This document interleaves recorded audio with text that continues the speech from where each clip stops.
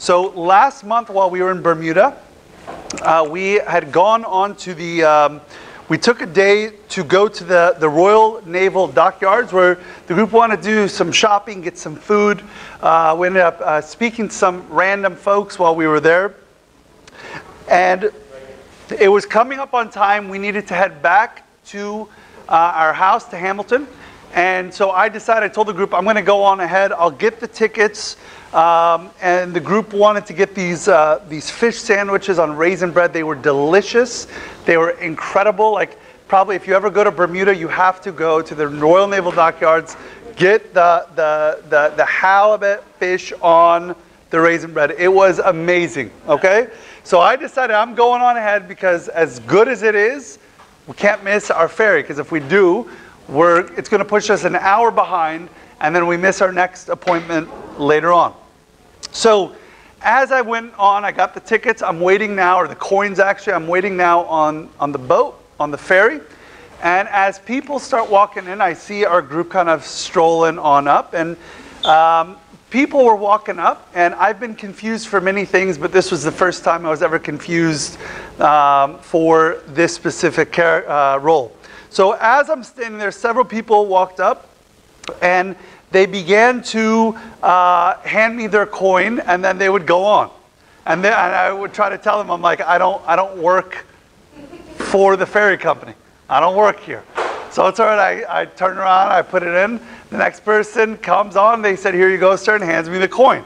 And I'm dressed like this. I'm like, this is a fancy um, a job, like a fancy suit for this specific job.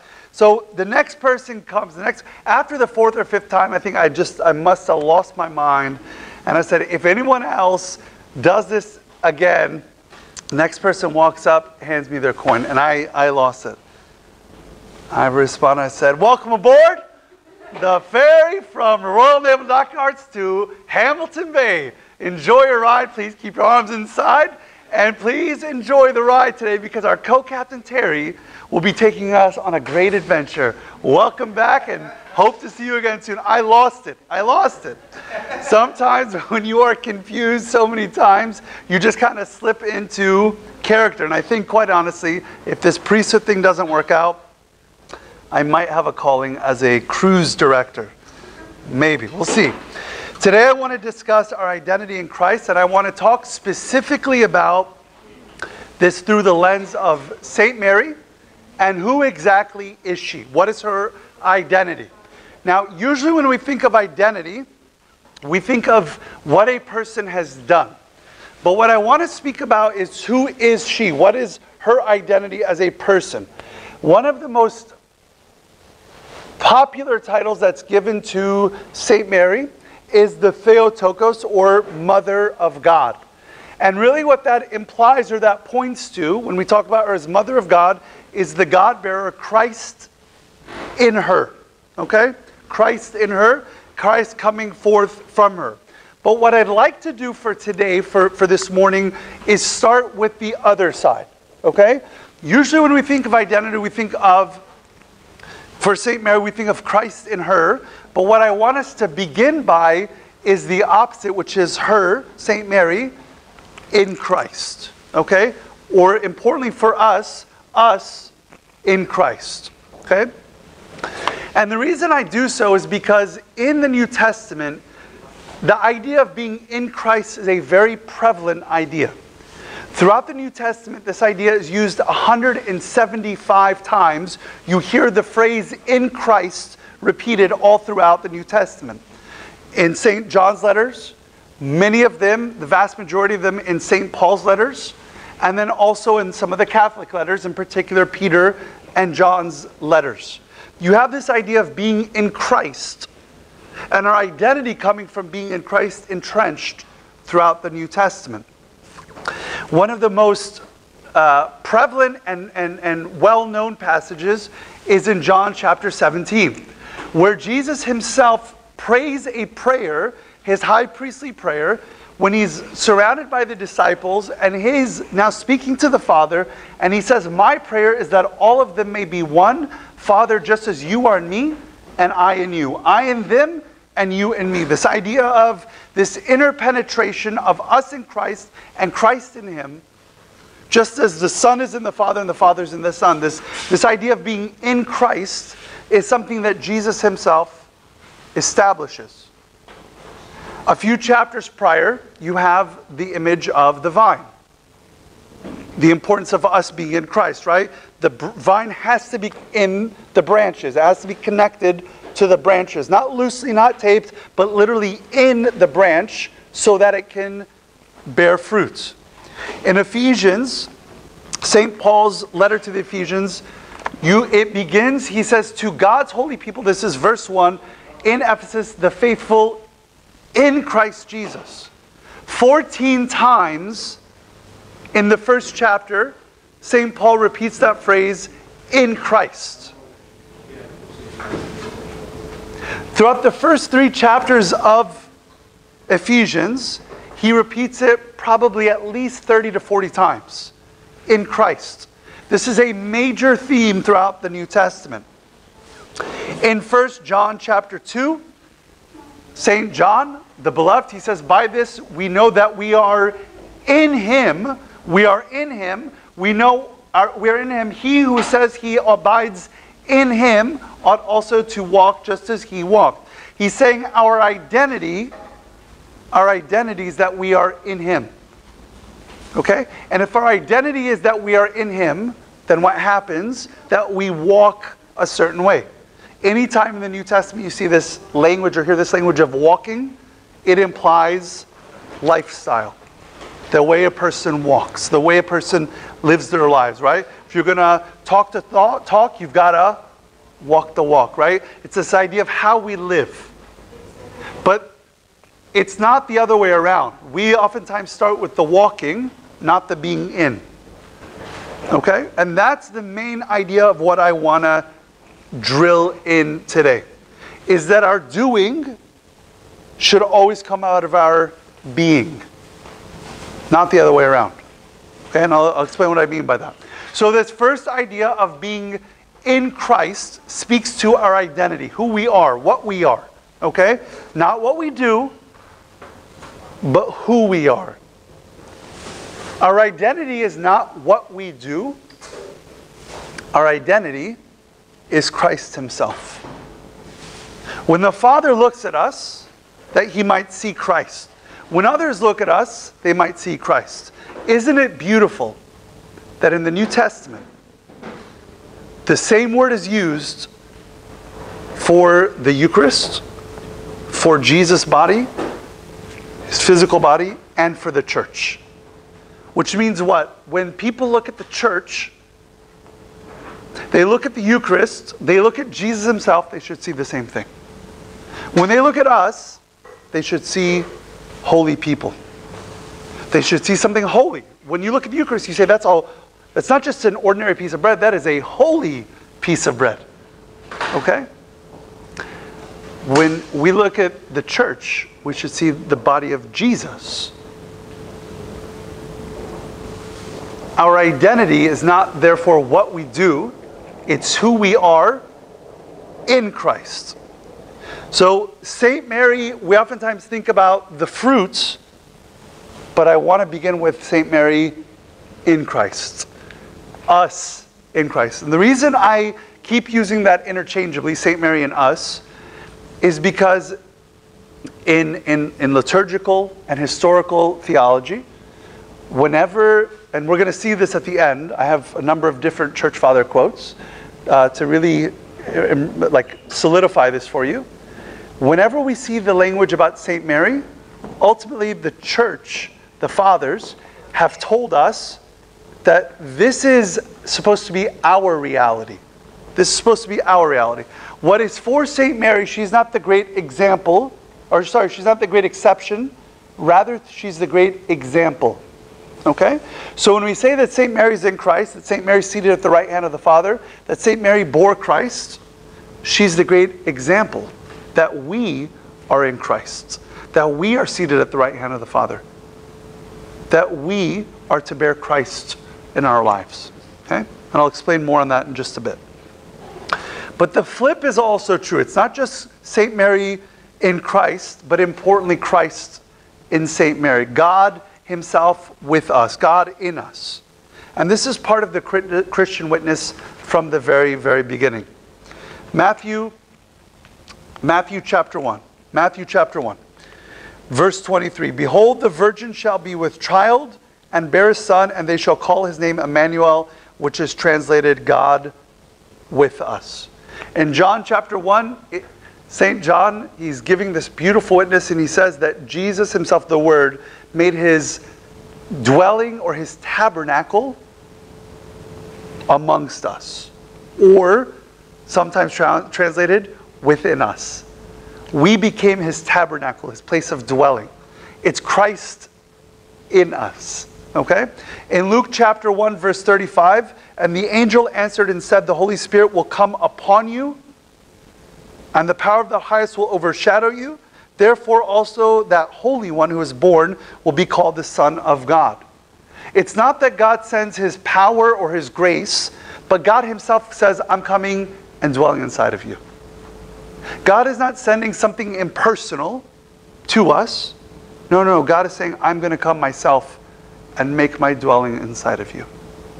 I was sharing with some, some folks the other day that there are those who would suggest that God is too holy and too pure to make his dwelling amongst us. That in fact, God doesn't come in and live inside of us, but that he just sends his grace to us.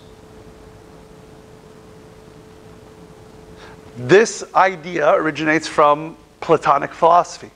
Because in, in Plato's thinking, Plato actually describes God, the creator, as the unmoved mover. The unmoved mover, okay? Sorry for using this philosophical language, but that's, that's how he describes the creator. He says, He's the unmoved mover. He kind of sits back and he just draws others to himself through a proxy because God himself cannot engage in, and touch matter because that's below him. Okay? Which is the same thing that Arius in the fourth century did. And it's that same spirit that exists amongst folks that would say, no, no, you're us. We're just, we're, we're, we're, we're dirt. We're nothing. How could God come and dwell inside of us? And what he's saying is, no, you're holy and you're precious and you're valuable and you're a masterpiece. And I'm coming to make you my tabernacle. I'm coming inside of you. And when you receive the Eucharist, you're receiving God Himself inside of you. There's nothing more intimate than receiving God inside of us. That the Son Himself and the Eucharist and the Holy Spirit, as He comes and dwells inside of us, St. Irenaeus, he was a second century bishop from France. He says that the Son and the Spirit are the two hands of the Father recreating us into the image of God. And that happens not from outside of us, but from within. He transforms us from, it's not about he wants to make us, give us like a, an extreme makeover, right? Make us beautiful and like give us a nice set of hair and a nice like fix our eyebrows and like make up. No, no, no. He wants to transform us from within. Okay? From inside out, not from outside in. Verse 27, 1 John chapter 2 says, But the anointing, the anointing which you have received from him abides in you. The anointing, which is the Holy Spirit himself, abides in you, and you do not need anyone need that anyone teach you, but as the same anointing teaches you concerning all things and is true and is not a lie, and just as it has taught you, you will abide in him. You will abide in him. So he's saying he comes in you and you are in him. The two are interrelated. And this idea of not having anyone to teach you, he's not saying that we shouldn't instruct and teach and, and share and, and about him to one another. But this idea of teaching, it's a, the idea of knowing him. When he's inside of you, you know him personally. One of the main ideas that St. John impresses upon over and over and over again in his epistle is this idea of knowledge of God, of knowing God. What does it mean to know God? It's not about having some peripheral knowledge about Him, that we read books, but that we have an intimacy with Him. because He's inside of me. That when I pray, St. Paul tells us in Romans chapter 8 that the Spirit Himself groans with birth pangs within. That as we find in the book of Acts, the Holy Spirit is instructing the church, telling the church, go there, don't go there. Don't go to Macedonia, that's a bad place. Get up, go there. And they're responding. They're ministering to the Lord, they're, they're liturgizing, they're fasting. Acts chapter 13, verse 2. And the Holy Spirit says to them, Separate to me Saul and Barnabas. And they say, Okay. They're responding. Why? Because there's an intimacy. They know God firsthand. There's a, a personal encounter with God. They're not sitting reading books. No, sure, they're reading books, but that's not what it means to know God, friends. It's not, I read, read a book and, okay, I, I, I learned about God. Theology, we can't reduce theology, and by the way, all of us are theologians. We cannot reduce theology to I read a book about God. No, theology, uh, St. Uh, Evagrius, I believe it is, he says, theology is one who prays, the theologian is one who prays, and one who truly prays is a theologian. Because what is theology? It's to know God. It's to speak of our experience of God. And how do we experience Him? Through that life of prayer. Through that life of prayer.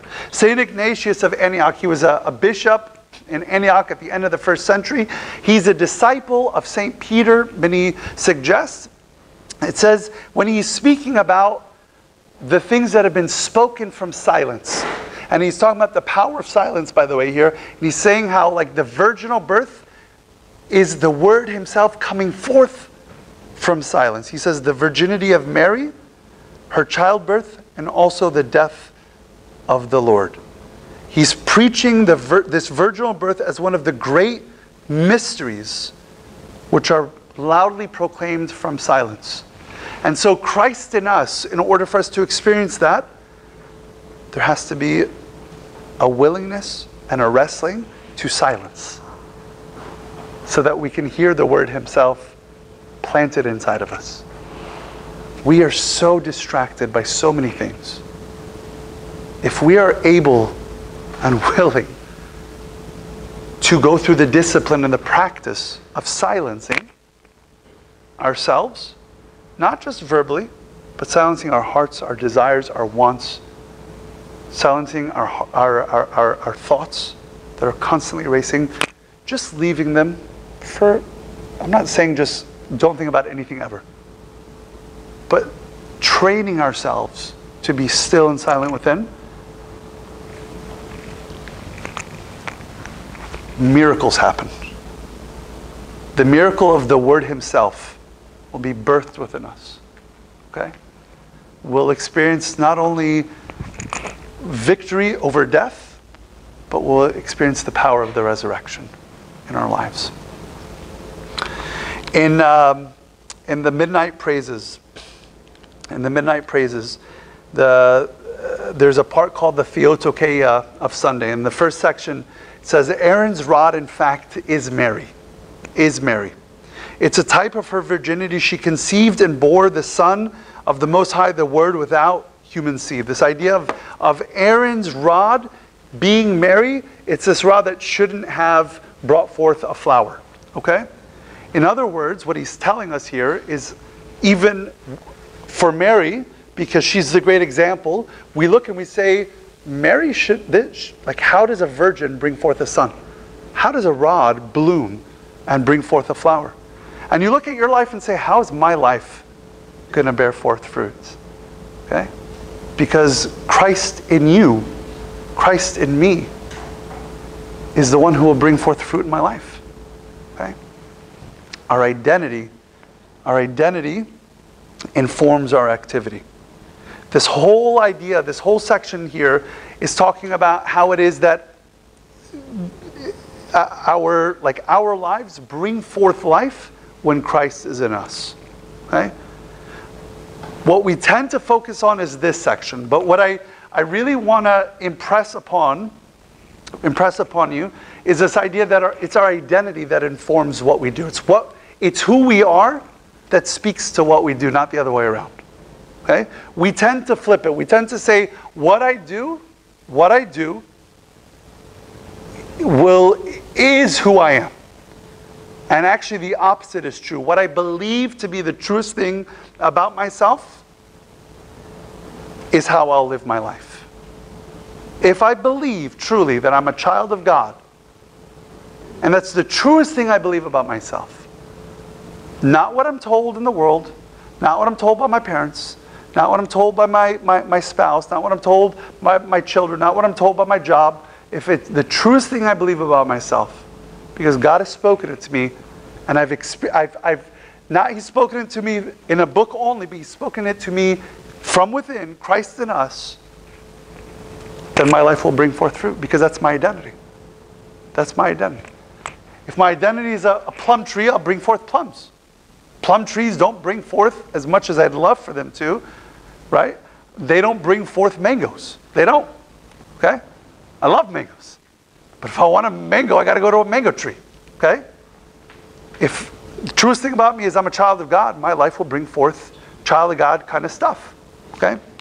So our identity informs our activity. Our union of God, in other words, our union to God, leads to rebirth in our lives. Okay? Put, put differently.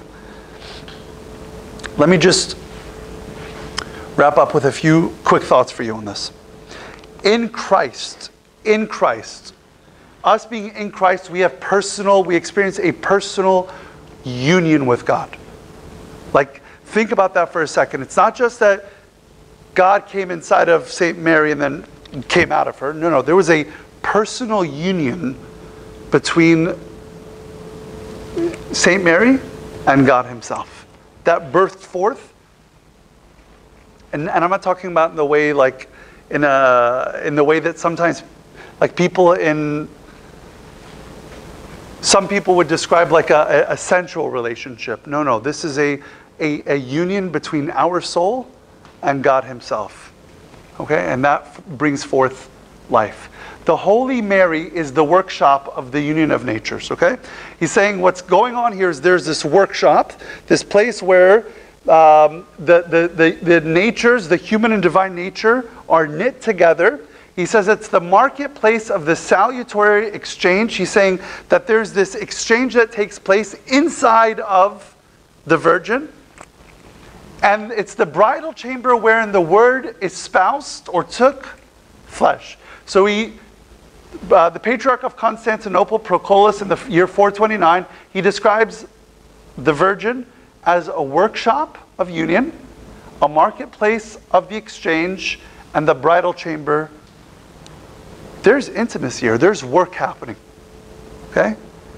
There is life coming out there is something that is being produced, so to speak. The church, when we speak about St. Mary, importantly, we also talk about how St. Mary is an icon of the church.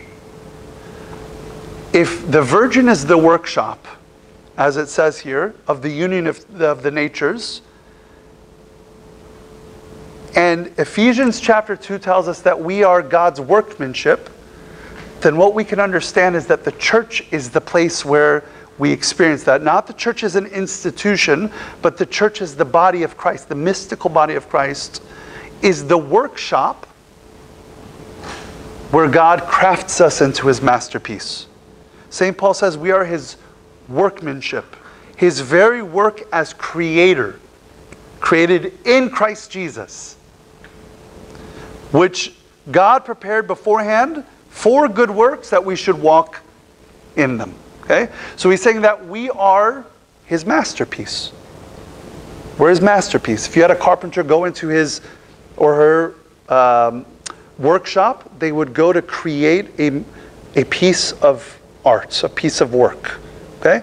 They would craft it, they would chisel, they would sand it down, they would, you know, maybe start over, they'd have to break certain parts, whatever. I mean, I'm not a carpenter, clearly, okay? But they would go in and they'd do some work in order to form a masterpiece. That's what the church is doing in our lives. Again, not the church as institution, the church as this like structure. And I don't want to discount, yes, the, the institution of the church is important. I'm talking about the work of the body of Christ when we come together and we experience the mystical presence of Jesus amongst us. It's the workmanship. We're taken from this small, little, creepy looking creature, like a caterpillar. Like, I'm sorry, butterflies are beautiful, caterpillars are creepy looking, okay? They are not the most beautiful looking things, okay? You can probably find a cute caterpillar, okay? But this is like a, this is like a, if, if we were grading caterpillars, like one to 10, this is like a five. I saw some ones, okay? There, were, there was a couple nines, okay? But I saw a couple ones that were just nasty looking. I didn't want to put them up there because I didn't want anyone to have nightmares tonight. I mean, they were horrible. They're creepy looking, okay? And let's be real, most of us are these like little creepy, like all of us actually, were these creepy little looking caterpillar kind of things. And then, I'm not talking about physically, all you are beautiful, okay? You're like, give me like the look, okay? No, we're like spiritually, like we're this creepy little thing. And then we come and we're birthed inside of the body of Christ into a beautiful butterfly, okay? The church, just as St. Mary birthed Christ, is this workshop. The church saying, as the body of Christ is birthing you, okay? The church is also the marketplace, just as the Holy Mary is the marketplace of this exchange.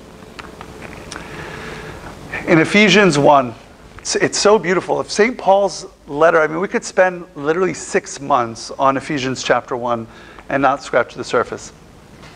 He says, having made known to us the mystery of his will. The mystery here is describing the incarnation himself. God becoming man, God revealing himself to us in the person of Christ, okay? So it's saying he's made known to us the mystery of his will, okay? The greatest mystery is the incarnation itself, according to his good pleasure, which he purposed in himself, that in the dispensation, that word dispensation is the economia or economy of the fullness of times, he might gather together in one all things in Christ. He's saying, in other words, that God through the incarnation is creating this economy. Okay? This pouring out, this collecting together. And the word economy here is describing this exchange that takes place. Okay? That God is taking something and giving something. Okay? Think about like the, the idea of bartering, right? Back in the day, people used to barter. Now we use money. Okay, you go to the store. Sorry, stores are going out of fashion. Okay, you go on Amazon. Okay, and you select and you go kind of scroll through and you look for the best deal and you look how long and you might say I'm going to spend an extra couple bucks because I can do it on Amazon Prime. It'll be here in two days instead of like in 10 days. Okay, so I'm to find the best deal and the best shipping options and all that stuff. And then your credit card charges. You pay a certain amount, but then you get something in return. And usually you try to find a pretty fair deal. Okay? This exchange that happens right here is the most unfair deal ever to happen from God's side. God is saying, I'm going to take your human nature, I'm going to let you receive me. St. Peter says that we are called to be partakers of the divine nature. So he's saying, I'm going to take your human nature and I'm going to let you partake of my nature, of me. I'm going to come inside of you. I'm going to come and dwell and live inside of you. Fair exchange? Not at all. Who's complaining? Not me. Okay? I'm not complaining at all. Not fair? I'm okay with it. And quite frankly, so is God. Because God is saying, there's enough of me to go around. And by the way, this doesn't affect me one bit because I'm infinite. Okay?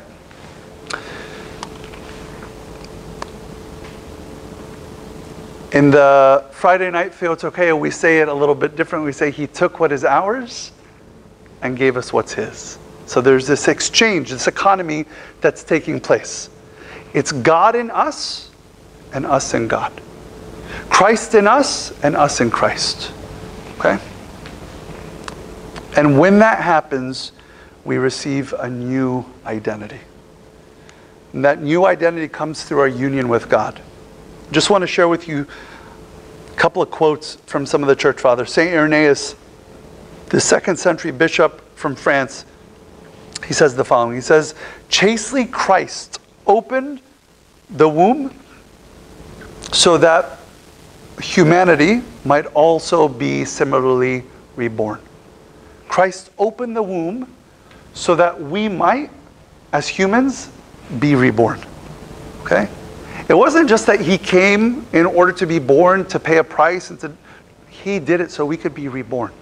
His incarnation itself, his coming into the virgin, the very act of Saint Mary becoming mother of God, he, what Irenaeus is saying here to us is he did this, God did this so that we might become reborn. Saint Gregory the Wonder Worker, who we mentioned in the, the commemoration of the saints, he says the word, the divine word, came from on high and reformed, reshaped Adam into a new creation in Christ. In the holy womb of St. Mary. He's saying is that when the Word came inside of, Jesus came inside of the Virgin, that he recreates all of humanity. And then in 2 Corinthians 5:17 it says whoever's in Christ is a new creation, old things pass away. We have a new identity in Christ. I want to uh, wrap up here with this, this last idea of what it looks like for us to give birth to Christ in our life. How do we become Christ bearers in our life? St. Augustine said it beautifully. He says, Every Christian conceives God in his heart. Every Christian conceives God in his heart. Every one of us should give birth to God from within us in our heart. St. Ambrose, who was, died in the year 397, he says, When the soul begins to turn to Christ, she, being the soul, is addressed as Mary. How beautiful is that? When you and I, we turn our soul to Christ, our soul is addressed as Mary. That is, she receives the name of the woman who bore Christ in her womb, for she has become a soul who, in a spiritual sense, gives birth to Christ. How precious is that? When you turn your soul to Christ, your soul is given the name of Mary, because then your soul gives birth to our Lord. Saint Jerome, like the Blessed Mary, he was a saint that lived uh, and died in the year 420. Okay? Like the Blessed Mary, who was of such purity that she deserved to be Mother of God, you too can be a mother of the Lord. Okay? And what's, what's there for us is that we turn to Him and that we do the first step in our growth as Christians by purifying our hearts and our desires. Blessed are the pure in heart, for they shall see God. Okay? When we turn to Him, we purify ourselves. We not only see Him, but we become, as Ambrose says, the mother, uh, um, the mother of the Lord. Saint Ambrose once again he says, "Watch, watch that you do the will of the Father, so you may be the mother of Christ." I mean, think of the great honor during this two weeks that we're singing to the Virgin this, and the Mother of Christ this, and the Mother of our Lord this, and St. Mary this. And all of this, by the way, and, and, and this is not like, listen, there will always be only one, the Virgin Mary. Okay? And she has a place of distinction and honor in the church, for sure. But when we say she sits to the right, that is prepared for you and I, friends you have a great value before God. One last, one last uh, quote for you. Pope Gregory the Great. He was uh, uh, a, a Roman father from the year 604 AD, but I want to share this. It was beautiful. He is above all the mother of Christ who preaches the truth. For he gives birth to our Lord who brings him into the hearts of hearers. When you speak the word of God to others, what Pope Gregory here is saying, and you're preaching the truth, you bring Christ himself into the heart of hearers. And he is the mother of Christ who, through his words, inspires a love of our Lord in the spirit of our neighbor. You are the mother of Christ if you inspire the love of our Lord and the spirit of your neighbor. What a beautiful gift to be given to. What a beautiful name to receive. When we turn our hearts to Christ, we're called Mary. When we preach and share the word, we're told that we become and we're called, we receive this beautiful name, Mother of Christ, Mother of our Lord. When we turn our hearts in purity to God to see Him, we become and receive this, this, this voice calling to us, the Mother of our Lord. Why? Because Christ in us and us in Christ. Okay. Our identity, our union with God, should always bring forth life. You had a virgin who brought forth life. A virgin. We've heard so many times it's ordinary. But a virgin brought forth life. And I tell you the truth, God can take your life that feels and looks like there's nothing going on there. There ain't no child coming out of that. there's no fruit coming. But I'm telling you, you and Christ, Christ in you, leads to miracles. Okay? Leads to something extraordinary happening. I want to just before we jump into discussion, I want to share with you just a, a short video. It's about a minute and a half, so enjoy.